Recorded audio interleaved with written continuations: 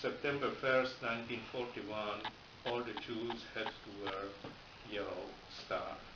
Uh, Older than